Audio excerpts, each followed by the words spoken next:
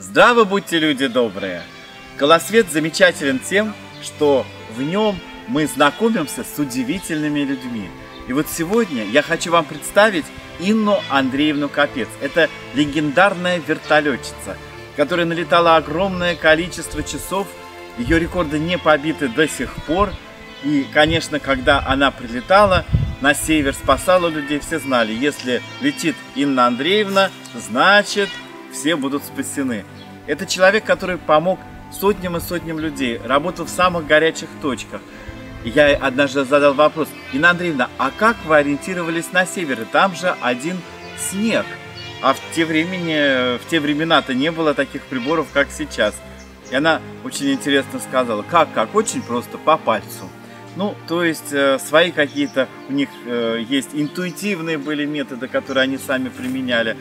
Пустыне как-то им специально разжигали огонь, чтобы э, пустыня везде одинаковая, чтобы понять, где э, находились те ученые, которые там остались. То есть эта жизнь наполнена огромным смыслом. И вот она сейчас расскажет о себе, она расскажет о том важном моменте, что сохранение традиции это самое главное, потому что Инна Андреевна это носитель нашего ведического мировоззрения. Добро пожаловать на встречу с Инной Андреевной Капец.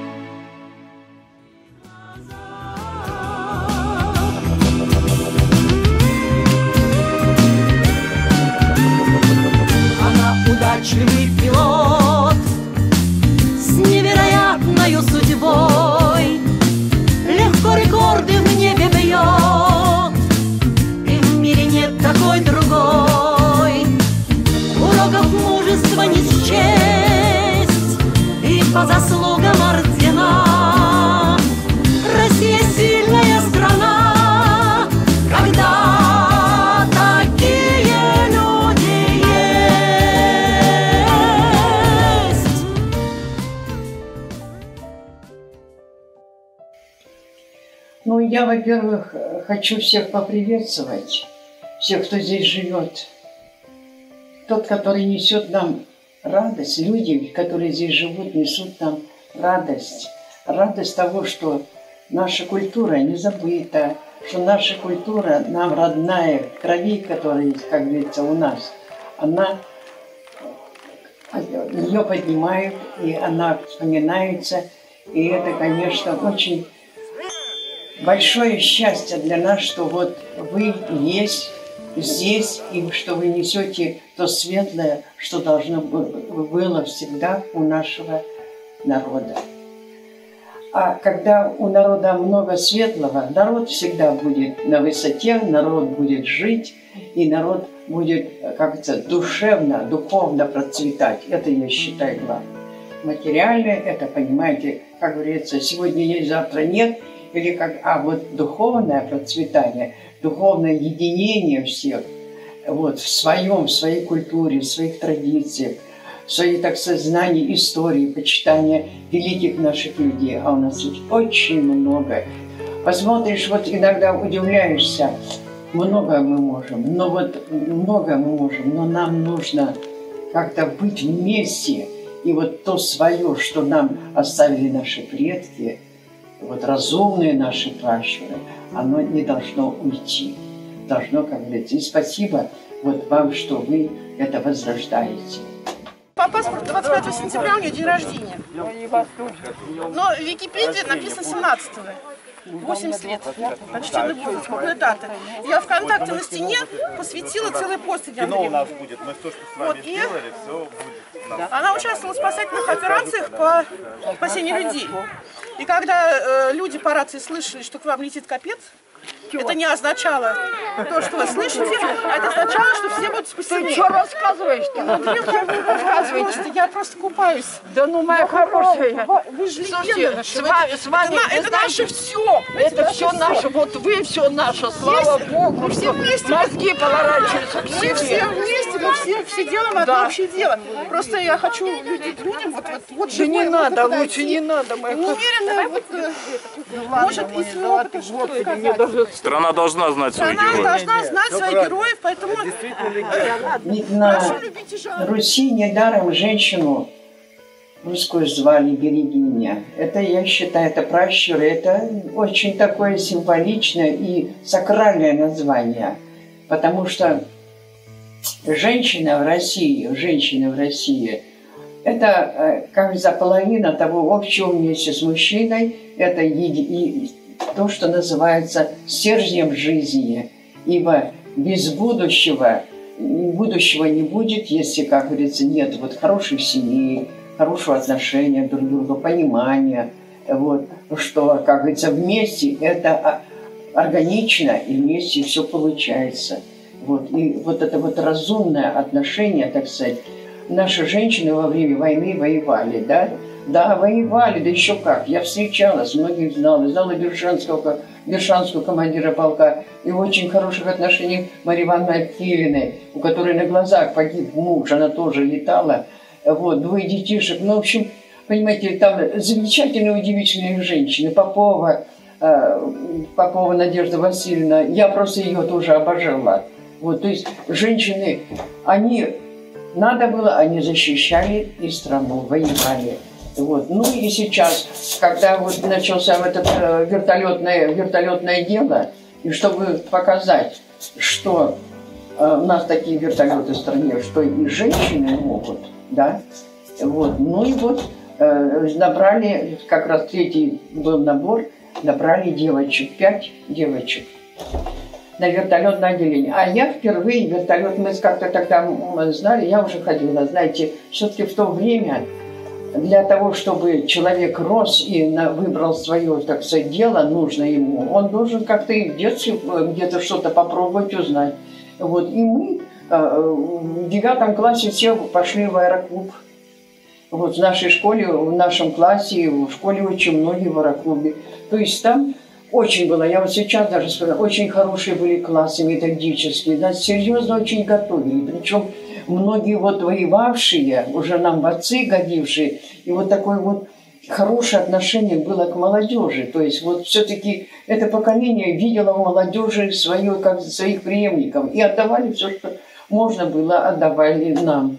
Вот. И э, бесплатно, за 30 копеек мы летали, вот теорию проходили, потом летали. Я летала на планерах, э, вот на самолетах летала, вот. А потом уже, значит, вот э, з- зародилось это мне желание. Но примером, конечно, примером для меня вот в этой, то, что я стала э, вот э, в летном деле, была Валентина Степановна Гризодубова. Многие ее знают, конечно, читали. Эта женщина, ну, она вообще личность. Я потом э, с ней общалась, встречалась, но для меня были ее, э, ее вот так э, дела, которые они, так сказать, как молодые, первые, одни из первых летчиц, она тогда пролетела очень, установили мировой рекорд, женский экипаж. Вот. И там, знаете, сели в Хабаровском крае. И сели в Хабаровском крае в 13 часов 38-25 сентября. В это время я родилась. Ну и как вот Юру Гагарина, вот когда Юра слетал, то все Юра, Юра. Мама тоже меня Валей хотела назвать. Но отец настоял вроде, вот назвали меня Иной. Но когда всегда вот говорят, я говорю, ну мне судьбой, наверное, было вот заказано быть летчицей. Вот. Валентина Степановна для меня была всегда, как это, звездочкой ведущей, понимаете? Ну, действительно, это человек, командир полка, потом, потом руководила институтом, где вот приборы авиационно-космические все это. Ну, удивительная женщина. Она очень хорошо пела. Она и играла на пианино. Вот. И вот потом я уже, когда состоявшаяся с ней встретилась, для меня это было большое счастье. То есть, понимаете, вот, наверное, в молодости в этих, в этих нужно встретить э, людей, которые, с которых можно делать, как, которые, как они говорят, делай, как я. Вот для меня, конечно, была вот Валентина Степановна Грибодрубова. Но мне вообще, конечно, очень повезло. Я и Громова Михаила Михайловича знала. Это вообще был личность, интеллигент, летчик необыкновенный. Понимаете, вот есть же, мы знаем, все знаем, что у нас институт имени Громова, вот эти испытания, все это, война. То есть вот, понимаете, перед Э, перед нами вот по жизни шли рядом и такие вот люди. И, конечно, мы как-то стремились к этому, э, чтобы быть, ну, похожими на них. Ну, и где-то, может быть, делали свою судьбу. Вот я, значит, э, пролетав, естественно, я захотела стать летчицей. Но для того, чтобы поступить в училище, надо было, значит, вот аэроклуб 40 часов обязательно лета, все. Ну, то есть аэроклуб делал хорошее дело. То есть человек приходит и пролетав, и понял, понял, что это его. Уж вот, как говорится, не уйдет. И действительно, все вот потом вот и наши ребята, которые стали военными, многие офицеры, летчики, вот мы вот там, кто-то из нас вот из девчат тоже в аэроклубах. Но у нас была единственная возможность тогда попасть в, летное, в летное училище, это стать инструктором в аэроклубе. Вот было одно единственное училище, это в, этой, в, в Калуге. Вот я туда поехала, но перед этим мы, значит, прилетели на, приехали на открытой машине, знаете, как-то с аэроклуба приехали на аэродром, и стоит непонятно что. Все, конечно, спрыгнули туда, это, а это был вертолет. Вы знаете, конечно, непонятно, мы уже понимали, как аэродинамика, там, самолетов, планер, там, как это, а это, как это летает. Я вообще обошла, и вы знаете, так посмотрела, ну, надо же и каракатиться, как же интересно она летает. Вот. Ну, и вроде как-то это. А тут, значит, когда приехали в, аэро... в училище-то, и первый набор девчонок, пять, пять, значит, пятерых решили взять, посмотреть, получится или нет. Вот. Ну, естественно, у меня вот это вот желание узнать, как же это летает. Действительно, он летает, в общем-то, там аэродинамика непростая и все. Вот. И меня вот зачислили на отделение, на вертолетное. Нас пять девочек. Вот, вы знаете, ну вот, наверное, мое по жизни.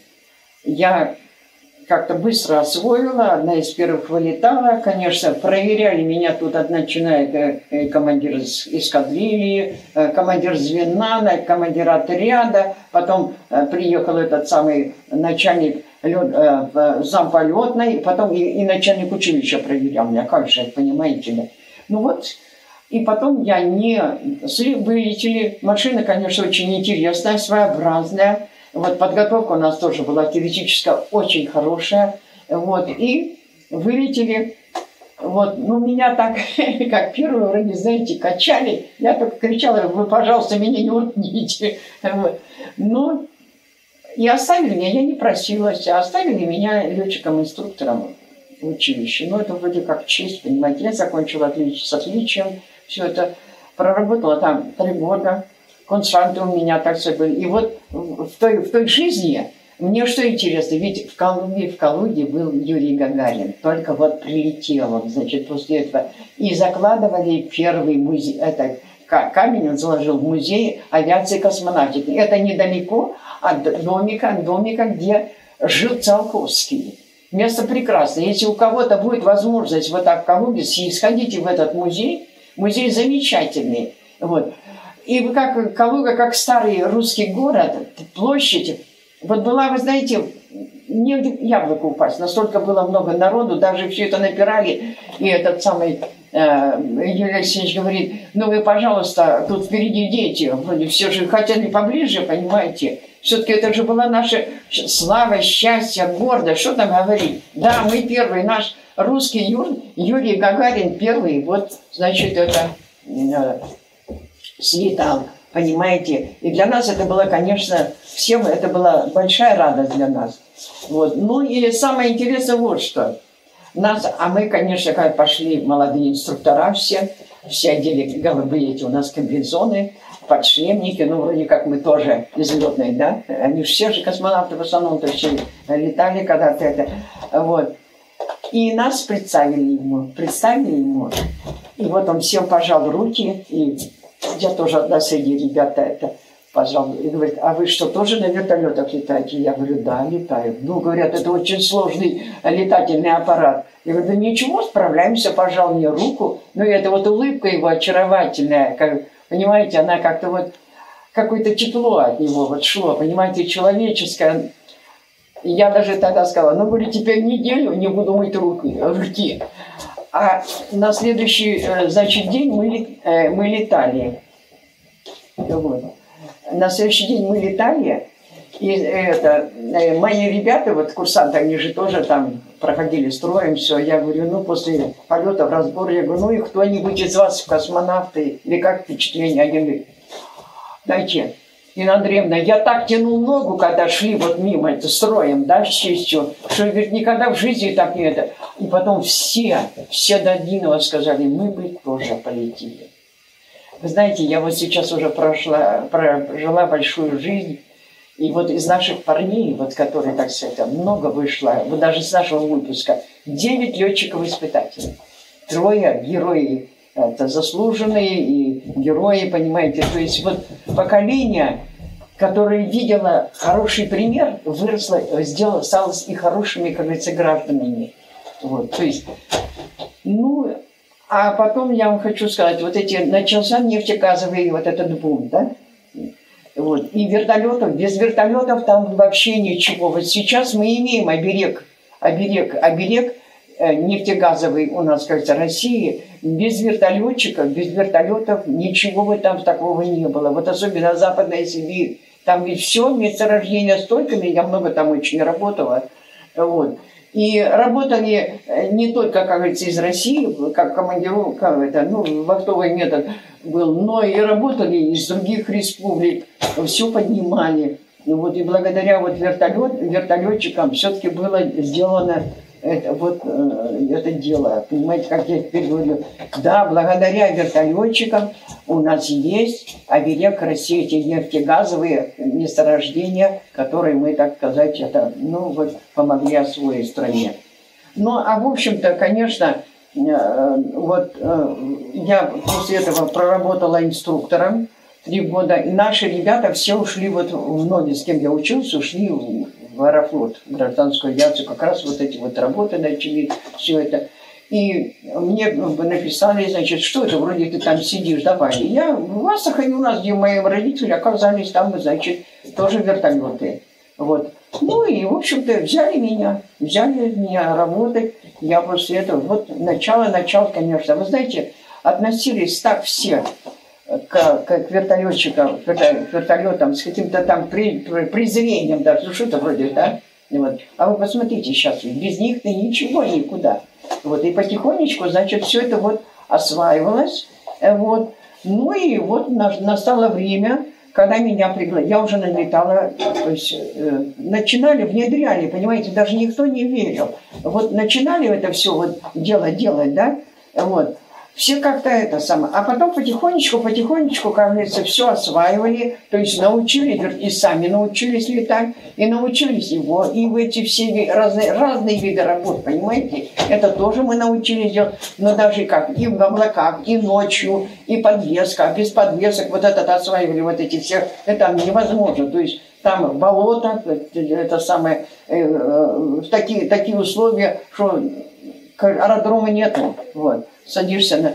Поэтому, конечно, я, в общем-то, э, знаете, ну, у меня вот хорошее чувство, что все-таки мы вот этот вертолет ввели, как все это прошло через меня, и вот последнее, что потом, значит, меня пригласили вот э, в Москву, у меня уже тогда 3000 налета было, это приличный налет считал, считался, вот, пригласили меня вот показать новый вертолет Ми-8. Вот, показать его, ну, и вы на нем сделали 6 мировых рекордов. Один, э, так обычно в вертолете 3 часа, 3 часа на горючего. А мы, мы пробыли 11 часов 45 минут. Представляете, сколько там у нас было? Да, ну мы справились. Потому что была поставлена задача поставить, показать вертолет не только как, так сказать, это, но и что и женщины это. Ну, этот вертолет сейчас, не, не 8, работает везде и всюду, и сейчас модернизируется. Это, конечно, ну, так как я вам скажу, ну, идеальная, идеальная машина. То есть все э, рассчитано было правильно все это. Вот. Ну, а потом вот работала я, стала командиром на Ми-8, летала в этих там по северам, по этим.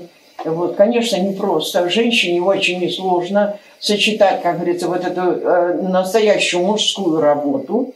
Я почему говорю, и еще как-то, чтобы сочетать это все, мне надо было гармонировать с семьей, это непросто. Поэтому, может быть, как говорится, я тоже считаю, что, ну, это хорошо сработают мужики. Вот. А женщины это пусть будут единицы, потому что у женщины природой совсем другие обязанности. Обязанности, которые, может быть, даже, как говорится, и не сможет. Женщина и природа – это, как говорится, единое, понимаете? А то, что связано с природой, это все идет от женщины. И поэтому от дети, семья, там своя, как говорится, семья у женщины, и вот это вот сочетать мужское и это очень, очень непросто. Вот. Ну, а потом вот э, все-таки я там справлялась, условия, конечно, ужасные, то есть край был не, не, не совершенно не в таком, ну, все это было как полудеревни, полу это, сейчас, конечно, это там города, и все это все построили, все освоили, ну, а потом вот меня пригласили на вертолет Ми-26. Это самый большой вертолет в мире. Меня генеральный Марат Тищенко, значит, на одной из встреч Значит, Инна Андреевна, вроде попробуйте. Но я говорю, ну, давайте попробуем. Машина, конечно, колоссальная. У нас, у нас ни у кого в мире нет такой машины. По грузоподъемности, по своим вот делам тоже она все это. И вот мы на ней сделали 9 мировых рекордов. На Ми-26. Показали ее вообще, как говорится, 25 тонн. Она вообще-то по 20 тонн, так сказать, поднимает. А нам разрешил генеральный 25, и мы хорошо справились, сделали и показали. Знай наших. Вот меня, я член Международной вертолетной ассоциации, вот, Вильёц, и, значит, э, пригласили, пригласили наш экипаж на 50 лет. Но мне очень хотелось посмотреть Америку своими глазами, понимаете? Вот. Вот, ну и тут это такое, значит, конечно, нас очень встречали хорошо все это, потому что, ну, по такому опыту, по таким работам, по таким налетам, это 11 тысяч налета. Вот, и вот наши девчонки тоже это самое. У них нету.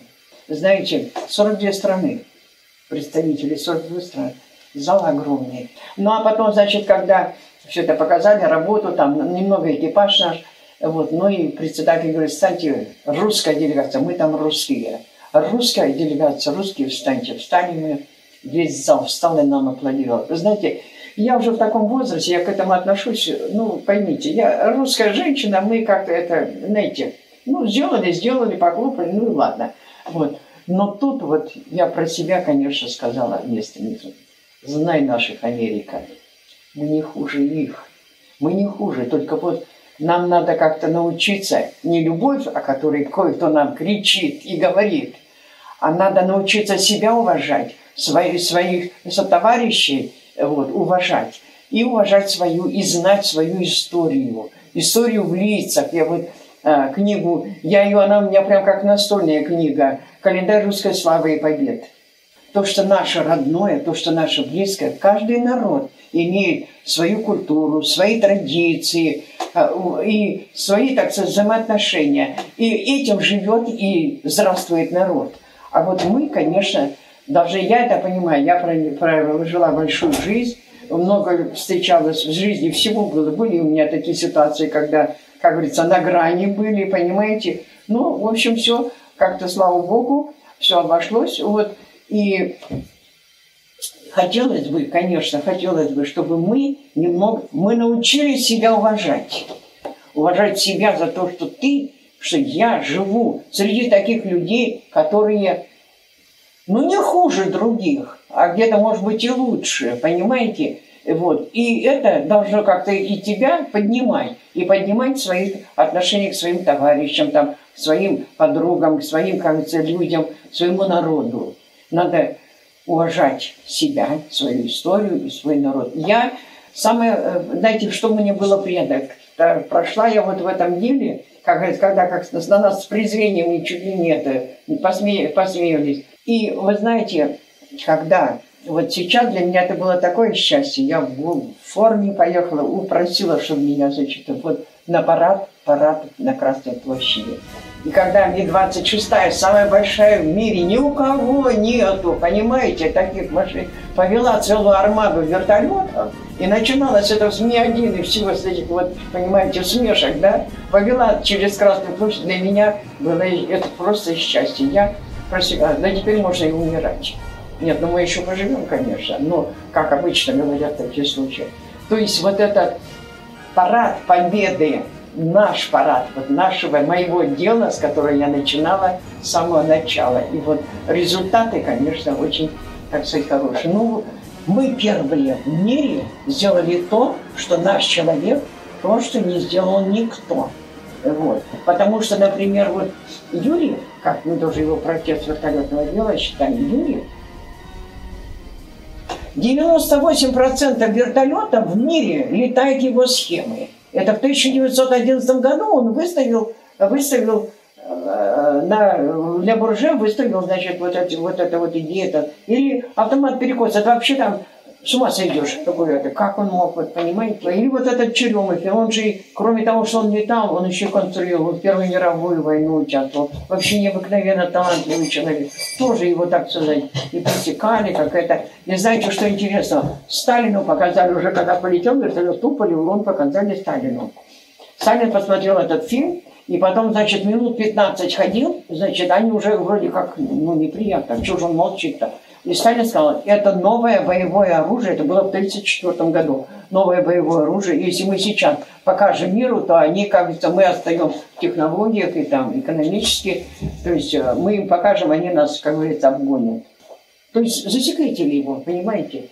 Ну, я там выходила на, в Кремле, значит, на одного товарища, вот все рассказала, все это, что подняли это имя, как-то засекречено, это, это самое, вот. И вдруг мне звонят, значит, приди в министерство, еще тогда министерство, там медаль. Знаете, какая медаль? Самая ценная у меня, патриот России. Для меня это вот через... Ну, к сожалению, он ушел, а товарищ вот не очень там на хотел. Ну, я надеюсь, что будет день, ведь посмотрите, наши и воюют, как научили летать, и воюют, да? А вот гражданская авиация без наших мужиков не подняли бы вот те края, как говорится, где мы подняли, где, так сказать, этот вот, эту нефть и газ. Сейчас, вы представляете, не было этого, да? И военные, и гражданские, и спортсмены. А спортсмены наши из 15 э, чемпионатов мира, 15 чемпионатов, нет, 16, значит,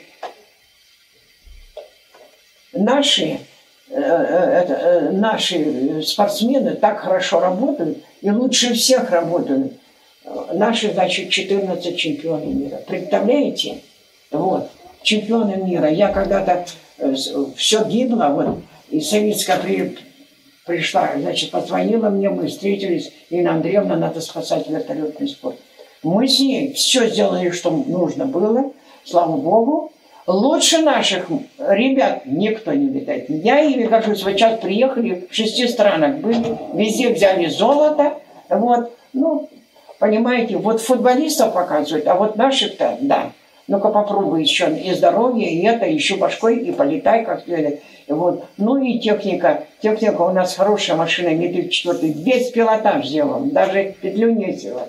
Я очень счастлив. Вот этот раз я даже когда поехал там при этот самый летчик-испытатель, один он там сейчас в Федерации Московской возглавляет вертолетного спорта, я ему говорю, ребятам, указ мой, что приехали чемпионами мира. И не приехали. Они меня уважают, я их тоже всех люблю. Вот. Ну и, конечно, вы смотрите, и лесохраны, и пожары, и все. Где только наши вертолеты, МЧС. Вы представляете? Вот все начиналось в 57 году. Я пришла, начало-начало было. В 89-м я ушла с летной работы. Но я до сих пор, до сих пор в этом деле. Понимаете? Потому что это мое дело и такие результаты. Я же говорю, для меня было счастье, это такое было счастье, когда 26-я вела целую армаду как раз через Красную площадь. Вот. Ну, а уж как э, говорят, э, мужики-то наши, ты же, говорит, у нас крестная мать 26 Марш это должен быть как символ наш.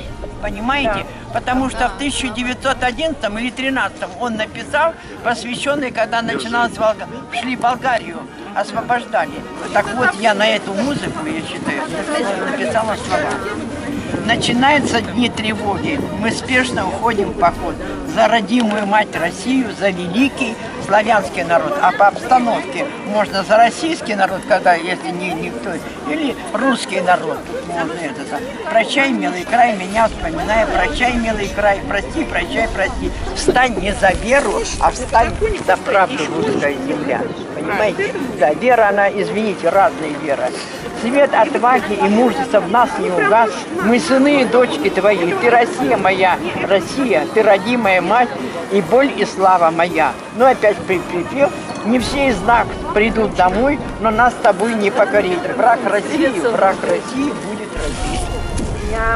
Мы клянемся своей отчизной защищать пределы твои. Наша мать, родная Россия, за тебя мы готовы. Простые слова, понимаете, не то, что там это самое. Мы можем все. Мы все можем. У нас много замечательных. Я встречалась со многими людьми. И сколько у нас встречат. Удивительно хороших людей. Но их не видно. Их не видно. Они живут, так сказать, это... Вот, но живут вроде как вот по-нашему, по-человечески. Вот. Поэтому это как-то дает силы. Вот. Ну и наше вертолетное дело, я вот сейчас надеюсь, что сейчас новый вертолет, и тоже вот ярославские там девчонки наши, я помогаю, чтобы показали еще. Опять, знай наших. Вот это вот для меня это самое, знай наших. Везде, когда начинают что-то, я говорю, знай наших. Мы не хуже других. Вот. И я бы вот что хотела еще сказать. Большое вам спасибо, что вы есть, потому что душа кричит иногда от несправедливости. А ведь у нас, у нас самое главное на первом плане – это справедливость. Потом правда, честь, совесть, а первая – справедливость. А справедливость в генетике. И вот это вот несправедливое порой к нашему народу, но мы сами, мы не должны забывать вот того, то, что является скрепой, как это говорит, наше правое дело. Вот. И вместе с ра- разумно, особенно я хочу сказать мужчинам, мужчины всегда у нас были на первом, как говорится, плане. Мужчина есть мужчина, понимаете, хотя вот там, как это по-христиански, вроде бояться должны, ничего не бояться, потому что женщины и мужчины – это единое целое, понимаете, в этом, вот, как говорится, хороводе жизни, вот, это надо понимать. Вот. И я надеюсь, что придет радостные дни, вот, и наше поколение, вспомнив все свое, будет, как всегда, как всегда было, лучшим, первым и сильным. Вместе, вместе, я считаю, что каждый человек, кроме того, что есть свое, каждый человек на общее дело должен посадить хоть одно семя. Вырастет колос. А колос – это самое, как говорится, красивое, если брать, посмотреть колос, да? Вот пусть, как говорится, будет у каждого свой стежок, стежок заложенный в, в этот кокошник нашей великой России. Всем здоровья и удачи!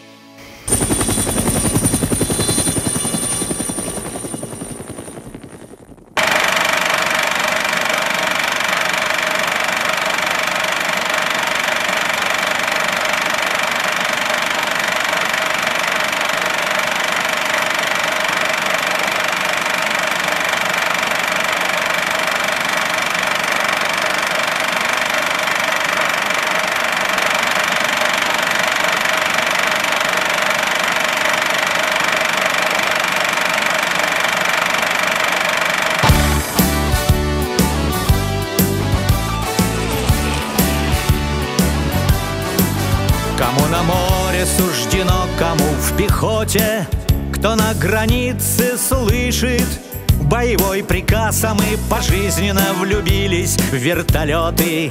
И от того нам каждый взлет, как в первый раз. В горах Афгана, над ущельями Кавказа Отдавшись чувству долга и чутью Летали мы в огонь не для показа А жизни доверяли мастерству. Мы вертолетчики, мы вертолетчики, сердцами пробиваем облака, врезаемся винтами в купол неба, тверда у вертолетчика рука. Струятся за бортом мы были небы, всегда тверда у вертолетчика рука. Все вертолетчики мы не за страх, за совесть Ведем дозор воздушных рубежей Верстаем неоконченную повесть Про многих не вернувшихся друзей. Мы чемпионы, в мире знают наши флаги. Мы пахари в гражданских небесах. Мы вертолетчики, мы воины, трудяги. На северных и южных полюсах Мы вертолетчики, мы вертолетчики Сердцами пробиваем облака. Врезаемся винтами в купол неба Тверда у вертолетчика рука. Струятся за бортом мы были небы Всегда тверда у вертолетчика рука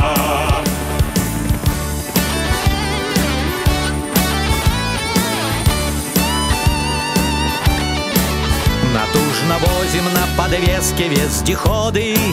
Снега под нами, топи и хребты. И мы горды, что при любой погоде Несем мы людям для спасения мосты. Мы остро чувствуем поэзию полета.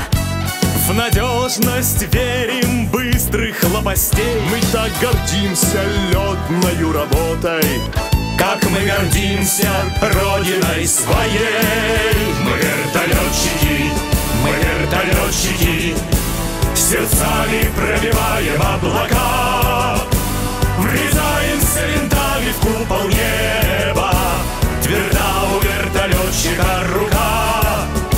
Струятся за бортом мы были небы. Всегда тверда у вертолетчика рука. Мы вертолетчики вертолетчики Мы вертолетчики